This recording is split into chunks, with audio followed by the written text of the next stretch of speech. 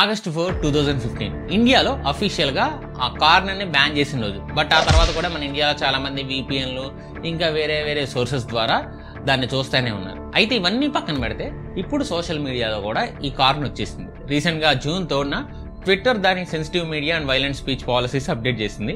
X అనొచ్చు Twitter అనే and దీని ద్వారా ఇప్పుడు అఫీషియల్గా ఎక్స్లో ఎవరైనా కార్ను చూడొచ్చు. ఎస్ మీరు విన్నది నిజమే. ఎక్స్లో ఫ్రీగా కార్ను చూడొచ్చు. అండ్ ఎక్స్ అఫీషియల్గానే మన ఇండియాని ఎలాగో ఇగ్నోర్ చేసేసింది ఎక్స్ అని చెప్పను. ఎందుకంటే అదేదో బూత్లాగా కనిపిస్తుంది. ట్విట్టర్ అనే చెప్తా. సో మీరు ఇంకా అర్థం చేసుకోవాలి. అయితే ఇక్కడ ప్రాబ్లం కేవలం ట్విట్టర్తోనే కాదు. చాలా సోషల్ మీడియాలో ఇంక్లూడింగ్ యూట్యూబ్లతో కూడా మీకు అడల్ట్ కంటెంట్ దొరుకుతుంది. ఇన్స్టాగ్రామ్ ఫేస్బుక్ ఆల్రెడీ సెమీకార్న్ వెబ్సైట్ అయ్యాయి. ఇప్పుడు వ్యూస్ కోసం దిగజారే వాళ్ళు చాలామంది ఉన్నారు. అయితే సోషల్ మీడియాలో ఇది ఒక్కటే ప్రాబ్లం కాదు. Cyber bullying and harassment superficial connections and fraud scams ఇంకా చాలా ప్రాబ్లమ్స్ అయితే ఉన్నాయి. అండ్ ఇవన్నీ ఫేస్ చేసేది ఎవరు అంటే మెయిన్గా యూత్ అంటే జెన్జీ యూత్. అండ్ ఆ తర్వాత ఇప్పుడు ఇప్పుడే సోషల్ మీడియాని అలవాటు చేసుకుంటున్న పెద్దవాళ్ళు. అండ్ దీని ఇంపాక్ట్ ఏమి చిన్నదేమీ కాదు. సో ఈ రోజు ఈ వీడియోలో సోషల్ మీడియా మనల్ని ఎలా ఇన్ఫ్లుయెన్స్ చేస్తుంది అండ్ ఈ ట్రాప్స్ నుంచి ఎలా బయటపడాలి లేదా మీ పిల్లల్ని ఈ ట్రాప్ నుంచి ఎలా బయటపడాలి అనేవి ఈరోజు గైస్ దానికంటే ముందు చిన్న రిక్వెస్ట్ ఏంటంటే కొత్త వాళ్ళు ఎవరన్నా మా ఛానల్ చూస్తుంటే మా నాలెడ్జ్ మీకు వర్త్ అనిపిస్తే ఛానల్ని సబ్స్క్రైబ్ చేసుకుని బెల్ ఐకాన్ ఆన్లో పెట్టుకోండి. వీడియోని లైక్ చేయండి. కుదిరితే మీ ఫ్రెండ్స్ అండ్ ఫ్యామిలీకి వీడియోని షేర్ చేయండి. ఇంకా లేట్ చేయకుండా వీడియో స్టార్ట్ చేద్దాం. హలో అండ్ లైఫ్ నేను ఆల్రెడీ చెప్పినట్టు సోషల్ మీడియా అనేది డైరెక్ట్గా ఆర్ ఇండైరెక్ట్గా ప్రమోట్ చేస్తుంది. యూజీ సోషల్ మీడియాలో రెండు రకాల కాంటెంట్ క్రియేటర్స్ ఉంటారు. ఒకటి టాలెంట్ని వాడుకుంటూ పైకి వచ్చేవాళ్ళు రెండు టాలెంట్ లేకపోయినా పిచ్చి పనులు చేసి పైకి వచ్చేవాళ్ళు. ఈ రెండో రకంలో ఒక కేటగిరీ ఉంది. అదేంటంటే సోషల్ మీడియాలో ఓళ్ళు అమ్ముకొని బ్రతికేవాళ్ళు. ఈ మాట అన్నందుకు నన్ను తప్పుగా అనుకోకండి. అండ్ ఇక్కడ నేను ఎవరిని అవమానించాలని ఏమనట్ల బట్ సోషల్ మీడియాలో ఇలాంటి వాళ్ళు ఉన్నారు. బేసిక్గా వీళ్ళు చేసేది ఏంటంటే బట్టలు పొదుపుగా వేసుకొని వీడియోలు తీసి దాన్ని షేర్ చేయడం. అండ్ అగైన్ మహిళా సంఘాలకి అండ్ ఓక్ ఫెమినిస్ట్లకి నేను చెప్పేది ఏంటంటే బట్టలు పొదుపుగా వాడడం నేను తప్పని ఎక్కడా చెప్పడంలా. మీరు ఇష్టం వచ్చిన బట్టలు వేసుకోవడం నా రైట్ మీకుంది. బట్ నేను చెప్పేది ఏంటంటే ఈ అల్గారిథమ్స్ ఎలా వర్క్ అవుతున్నాయి అర్థం చేసుకుని బట్టలు పొదుపుగా వాడి సోషల్ మీడియాలో ఫాలోవర్స్ కోసం వీడియోలు పోస్ట్ చేయడం టాలెంట్ కాదని చెప్తున్నా. అండ్ వాళ్ళు అలా చేయడానికి వాళ్ళ రీజన్స్ వాళ్ళకు ఉన్నాయి సో ఫాలోవర్స్ కోసం వాళ్ళు చేస్తున్నారు. అండ్ వాళ్ళు చేసే తప్పు అయితే ఎంకరేజ్ చేసే ఆడియన్స్ కూడా ఒక రకంగా తప్పే. అండ్ దాన్ని ఎలా చేసిన సోషల్ మీడియాదే తప్పంట. నేను ఈ ఎవరు కాంటెంట్ క్రియేటర్స్ ఫాలోవర్స్ అనేది కంటే కూడా దాన్ని ఎలా చేసిన సోషల్ మీడియాదే తప్పని చెప్పొచ్చు. ఎనీవేస్ టాపిక్లోకి వస్తే వీళ్ళు వీడియోస్ని సోషల్ మీడియా కంపెనీస్ అప్పుడే అడల్ట్హుడ్లోకి ఎంటర్ అయిన టీన్స్కి కనిపించేలా చేస్తే అండ్ అప్పుడే టీన్స్కి ప్రాబ్లమ్స్ మొదలవుతాయి. బికాస్ ఆ టైంలో వాళ్ళ బాడీలో హార్మోన్స్ అటువైపుగా వాళ్ళని లాగుతాయి. ఇప్పుడు నేను చెప్పేది బోత్ మగవాళ్ళకి అండ్ ఆడవాళ్ళకి ఇద్దరికి అప్లై అవుతుంది. రీసెర్చ్ ప్రకారం ఒక మనిషి మగ లేదా ఆడైనా సరే టీనేజ్ నుంచి అడల్ట్గా మారేటప్పుడు అంటే ప్యూబర్టీని హిట్ చేసినప్పుడు వాళ్ళ బాడీలో టెస్టోస్టిరాన్ సెక్స్ హార్మోన్స్ రిలీజ్ అవుతాయి. అండ్ వాళ్ళని సైకలాజికల్గా ఎఫెక్ట్ చేస్తాయి కూడా. బేసిక్గా ఈ పీరియడ్లో పిల్లలకి డేటింగ్ అండ్ శృంగారం అనే వాటి మీద చాలా ఇంట్రెస్ట్ పెరుగుతుంది. అండ్ అది సహజం. ఎందుకంటే ప్రతి మనిషికి కూడా ఇలా జరుగుతుంది. అండ్ ఈ పీరియడ్లో టీన్స్కి రావాల్సింది రియల్ సెక్స్ ఎడ్యుకేషన్ అంటే వాళ్ళకి ఎందుకు అలాంటి ఆలోచనలు వస్తున్నాయి? ఎందుకు ఈ సెక్స్ మీద ఇంట్రెస్ట్ కలుగుతుంది? ఇలాంటివి క్లియర్గా చెప్పేవాళ్ళు ఒకళ్ళు ఉండాలి. పాతకాలంలో అయితే అమ్మాయిలకు అమ్మాయిలు అబ్బాయిలకు అంకుల్స్ లేదా బ్రదర్స్ చెప్పేవాళ్ళు. బట్ ఇప్పుడు సోషల్ మీడియా దయ వల్ల అన్ని సోషల్ మీడియాలోనే తెలిసిపోతున్నాయి. అండ్ ఇక్కడే మెయిన్ ప్రాబ్లం మొదలవుతుంది. అదేంటంటే సోషల్ మీడియా వల్ల కావాల్సింది తప్ప అన్నీ తెలుస్తాయి. అండ్ వీటి వల్ల పిల్లల మెంటాలిటీ మారుతుంది కూడా. కావాలంటే మిమ్మల్ని మీరు ఎగ్జాంపుల్గా తీసుకోవచ్చు. మీరు ఏ ఏజ్లో కార్ని మొదటిసారి చూసారో కింద కామెంట్ చేయండి. అండ్ మెజారిటీ నాకు తెలిసి ఎయిటీన్ ఇయర్స్ బిలో వాళ్ళే ఉంటారు. అండ్ వీళ్ళకి అలవాటు కావడానికి రీజన్ సోషల్ మీడియా మీరు అనొచ్చు. సార్ నాకు చూపించింది మా ఫ్రెండ్ సోషల్ మీడియా కాదు అని. అండ్ మీ ఫ్రెండ్కి అలవాటు చేసిన సోషల్ మీడియా అవుతుంది. ఎందుకంటే ఇలాంటి ఇన్ఫర్మేషన్ ఈజీగా స్ప్రెడ్ అయ్యేది సోషల్ మీడియాలోనే. అండ్ ఆ తర్వాత వచ్చేది కార్న్ అడిక్షన్. దీనివల్ల ఇంపాక్ట్ ఎలా ఉంటుందని ఆల్రెడీ నేను ఒక వీడియోలో ఎక్స్ప్లెయిన్ చేశాను. సో ఇప్పటివరకు ఇది జరిగేది కేవలం సెమీ న్యూడిటీ వల్ల మాత్రమే కానీ ఇప్పుడు పూర్తిగా కార్న్ అది కూడా చాలా వైలెంట్గా ఉండే కార్న్ సోషల్ మీడియాలోకి రాబోతుంది. అండ్ దీని ఇంపాక్ట్ చాలా ఎక్కువగా ఉంటుంది కూడా. ఇది మీకు అర్థం అవ్వాలంటే మనం వెస్ట్రన్ కల్చర్ గురించి మాట్లాడుకోవాలి. బేసిక్గా వెస్ట్రన్ కంట్రీస్లో బాగా పాపులర్ అయిన సోషల్ మీడియా ఒకటి ఉంది. అదే ఓన్లీ ఫ్యాన్స్ దీని గురించి తెలిసిన వారు ఎవరైనా ఇది ఓన్లీ అడల్ట్ కంటెంట్ కోసం అని అనుకుంటారు. బట్ నిజాన్ని ఇది కేవలం అడల్ట్ కంటెంట్ కోసం మాత్రమే కాదు. ఏదైనా టాలెంట్ని చూపించి దాని నుంచి మనీ సంపాదించుకోవచ్చు. లైక్ కామెడీ వీడియోస్ లాంటివి. బట్ చివర అది కూడా ఒక అడల్ట్ వెబ్సైట్గా మారింది. అండ్ సోషల్ మీడియా పుణ్యమా అని ఇప్పుడు ఇది ఇండియాలో కూడా రా పాపులర్ అవుతుంది. అండ్ చాలామంది టీమ్స్ దీని ద్వారా వచ్చి ఈజీ మనీ కోసం ఈ ప్రొఫెషన్లోకి దిగుతున్నారు. ఇవే కాదు. మై బాడీ మై చాయిస్ అనే ట్యాగ్ లైన్తో అమ్మాయిలు ఇలాంటి ప్రొఫెషన్ని చూస్ చేసుకునేలా ప్రమోట్ కూడా చేస్తున్నారు. రీసెంట్గా దీని మీద వచ్చే మీమ్స్ అండ్ దీన్ని నార్మలైజ్ చేసే కాంటెంట్ సోషల్ మీడియాలో పెరిగింది. అండ్ ఇది ఒక చాయిస్ అని వెస్ట్రన్ కల్చర్ ప్రమోట్ చేస్తుంది. బట్ ఒకటి గుర్తుపెట్టుకోండి. గతి తప్పక ఇలా ఒళ్ళు అమ్ముకొని బ్రతికే ప్రొఫెషన్ ఎప్పటికీ కరెక్ట్ కాదు. వాళ్ళ ఇంట్రెస్ట్ వెళ్తే కూడా ఇంకా వాళ్ళ చాయిస్ కానీ నాకైతే కరెక్ట్ అనిపిస్తుంది. అది కూడా వేల మందికి అమ్ముకోవడం ఎప్పుడు కరెక్ట్ కాదు. దాని నుంచి వచ్చి డబ్బు వచ్చిన రెస్పెక్ట్ మాత్రం కొంచెం కష్టమే కదా. అండ్ దీనివల్ల ఇంపాక్ట్ ఎలా ఉండదంటే దాదాపు పది మందిలో ఏడుగురు అబ్బాయిలు పది సంవత్సరాలలోపే ఈ కార్ని చూడడం మొదలెడుతున్నారంట. అండ్ ఇది ఒకటే కాదు. ఈ కార్న్ అనేది డిఫరెంట్ టైప్స్ ఉంటుంది. అండ్ ఇందులో కొంచెం వైలెంట్ టైప్ లేదా ట్యాబు టైప్ కూడా ఉంటాయంట. ట్యాబు అంటే చేయకూడని టైప్ అనుకోవచ్చు లైక్ స్టెప్ సిస్టర్ అని అండ్ అలా అని సైకలాజికల్గా టీన్స్ని ఇంపాక్ట్ చేసే అవకాశం కూడా ఉంది. దానికి సాక్ష్యాలుగా చాలా ఇన్సిడెంట్స్ కూడా ఉన్నాయి. ముంబైలో పదమూడేళ్ళ అబ్బాయి తన పదిహేనేళ్ళ సిస్టర్ని ప్రెగ్నెంట్ చేశాడు. రీజన్ ఏంటి? కార్ని. ఉత్తరప్రదేశ్కి చెందిన ఒక వ్యక్తి తన చెల్లిని అత్యాచారం చేసి చంపేశాడు. రీజన్ కార్ని చూడడం వల్ల. ముంబైలోని కాందేశ్వరి ఏరియాకి చెందిన ఇద్దరు బ్రదర్స్ కార్ను చూసి సొంత చెల్లిని అత్యాచారం చేసి కౌలాలంపూర్కి చెందిన ఒక పదిహేనేళ్ళపై కార్ని ఎడిక్ట్ అయి తన సొంత అమ్మను అత్యాచారం చేశాడు. ఇలాంటి ఇన్సిడెంట్స్ ఇంకా చాలా ఉన్నాయి. వినడానికి చాలా అసహ్యంగానే ఉన్నాయి. కానీ ఒక పదిహేను సంవత్సరాలు ఉన్న అబ్బాయికి ఇవేమీ అర్థం కావు. ఎందుకంటే వాళ్ళ బాడీలో ఉన్న హార్మోన్స్ వాళ్ళని అలా థింక్ చేసేలా చేస్తాయి అండ్ హార్మోన్స్ ఒక్కటే కాదు. ఈ కార్న్ వీడియోస్ చూసి రియల్గా కూడా ఇలాగే ఉంటుంది. సిస్టర్స్ మదర్స్ని కూడా ఇలా చేయొచ్చనే థింకింగ్లోకి వెళ్తారు. అందరి విషయంలో ఇది జరుగుతుందని కాదు. మనలో మెజారిటీ కార్న్ చూసిన వాళ్ళు ఇలాంటి ఆలోచన రావు. బట్ వచ్చేవాళ్ళు కూడా ఉంటారు. లైక్ వెయ్యి మందిలో ఒక్కరు ఇలా ఉండే ఛాన్స్ ఉంది. అండ్ ఇదంతా మొదలయ్యేది సోషల్ మీడియాతోనే రీసెంట్గా మీమ్ పేజెస్లో కూడా ఇలాంటివి మొదలయ్యాయి. డార్క్ మీమ్స్ అని ట్రెండ్ అవుతున్నాయి.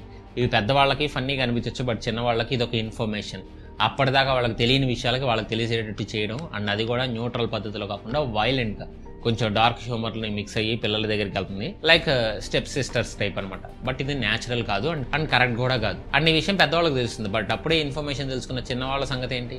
ఇది సోషల్ మీడియా వల్ల ప్రజెంట్ జనరేషన్ ఫేస్ చేస్తున్న మెయిన్ ప్రాబ్లం ఈ టాపిక్ గురించి ఇంకా చాలా చెప్పొచ్చు. బట్ మిగతా ప్రాబ్లమ్స్ని కవర్ చేయాలి కదా. సో నెక్స్ట్ మెయిన్ ప్రాబ్లం వచ్చేసి సైబర్ బులియింగ్ అండ్ హెరాస్మెంట్ ఇది మనకి చాలా సింపుల్గా అనిపించవచ్చు బట్ రియాలిటీ దీనివల్ల చాలామంది సైకలాజికల్గా ఇంపాక్ట్ అయిన వాళ్ళు కూడా ఉంటారు. ఇన్సెక్యూరిటీస్ పెరుగుతాయి. బట్ ఇవన్నీ చెప్పే ముందు అసలు cyber bullying and online harassment అంటే ఏంటో చూద్దాం. బేసిక్గా సోషల్ మీడియాలో కానీ ఇంటర్నెట్ని వాడి కానీ ఒక వ్యక్తి ఇన్సల్ట్ చేయడం బెదిరించడం లేదా వాళ్ళు ఎంబారస్గా ఫీల్ అయ్యేలా చేయడం cyber bullying and online harassment and ఇది జరిగేది సోషల్ మీడియాలోనే. దీనిలో భాగంగా మన తెలుగు రాష్ట్రాల్లో ఫేమస్ అయిన మన టీఎఫ్ఐ బానిసలకు మోస్ట్ ఇంపార్టెంట్ అయిన ఒక టాపిక్ గురించి మాట్లాడబోతున్నా అదే ఫ్యాన్ వార్స్. చిటికలే. మనం సోషల్ మీడియాలో జరిగే ఫ్యాన్ వార్స్ ఇంపాక్ట్ చాలా లైట్ తీసుకుంటాం అవతల పర్సన్ మనం చేసే అబ్యూజ్ని ఎలా తీసుకుంటాడు అనేది గమనించాం ఇన్ఫాక్ట్ చాలా మంది ఫిజికల్ వైలెన్స్తో సమాధానం చెప్పడం మొదలెట్టారు కూడా రీసెంట్గా అల్లు అర్జున్ గారి ఫ్యాన్స్ అని చెప్పుకొని తిరిగి ఒక చిల్లర్ గ్యాంగ్ ఒక పర్సన్ని కొట్టి ఆయన్ని జై అల్లు అర్జున్ రావమని ఫోర్స్ చేశారు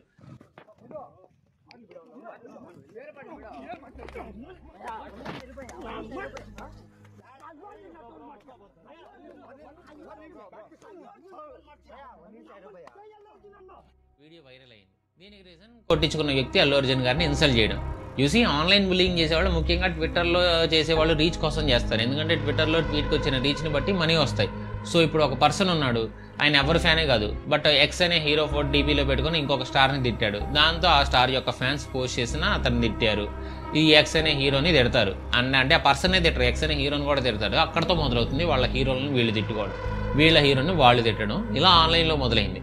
రోడ్ల మీదకి వస్తుంది. ఇందులో లాభపడేది ఎవరా అంటే ఆ ఫైట్ని రీచ్ కోసం స్టార్ట్ చేసిన మొదటి వ్యక్తి అండ్ ఆ పర్సన్ ఆన్లైన్ హెరాస్మెంట్ చేయడానికి చాలా రీజన్స్ ఉండొచ్చు. ఇంట్లో లోన్లీగా ఉండడం అబ్యూజివ్ పేరెంట్స్ లేదా కేర్ చేయని పేరెంట్స్ ఉండడం అండ్ మెంటల్గా డిస్టర్బ్ అయ్యి ఉండడం అండ్ చాలా రీజన్స్తో ఉండొచ్చు అండ్ వాళ్ళు చేసేది ఫన్ కోసం అండ్ ఫేమ్ కోసం.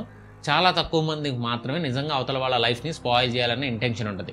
బట్ ఈ హెరాస్మెంట్ని తీసుకునే వాళ్ళకి మాత్రం వేరే విధంగా ఉంటుంది. ఉజ్జయిన్లో ఉండే ఒక పదో తరగతి అబ్బాయి ఆత్మహత్య చేసుకుని చనిపోయాడు. రీజన్ ఆ అబ్బాయి మేకప్ వేసుకున్న ఫొటోస్ ఆన్లైన్లో పెడితే దానికి వచ్చిన నెగిటివ్ కామెంట్స్ వల్ల. ఇంత చిన్న విషయానికి చనిపోవాలని మీకు అనిపించవచ్చు బట్ అతనికి అది చాలా పెద్ద విషయమేమో. మేకప్ వేసుకోవడం అతనికి నిజంగా ఇష్టమేమో. అండ్ అలా వేసుకుంటే సోషల్ మీడియాలో ట్రీట్ చేసినట్టు సొసైటీ ట్రీట్ చేస్తుందని భయపడి చనిపోయాడేమో. ఆలోచించండి. నెక్స్ట్ మెయిన్ ప్రాబ్లం వచ్చేసి time management and addiction. Yes social media వల్ల మన టైం టేబుల్ పూర్తిగా చేంజ్ అవుతుంది. అండ్ సోషల్ మీడియా ఎడిక్షన్ అనేది పెద్ద ఇష్యూ కూడా. యూసీ సోషల్ మీడియా అనేది ఎంగేజింగ్గా ఉండడానికి డిజైన్ చేయబడింది. ఇప్పుడు ఈవెన్ మేము పెట్టే వీడియోస్లో కూడా కొన్ని చూసే ఆడియన్స్ టార్ అంటే చూసే ఆడియన్స్ని టార్గెట్ చేసుకుని ఉంటాయి. సపోజ్ ఇప్పుడు మీకు కామెడీ షోస్ బాగా ఇష్టం అనుకోండి. మీకు ఇష్టమైన కామెడీ వీడియోస్ని సోషల్ మీడియా మీకు సజెస్ట్ చేస్తూనే ఉంటుంది. అండ్ అలా మీకు తెలియకుండానే చాలా టైం మీరు సోషల్ మీడియాని యూస్ చేస్తూ గడిపేస్తారు.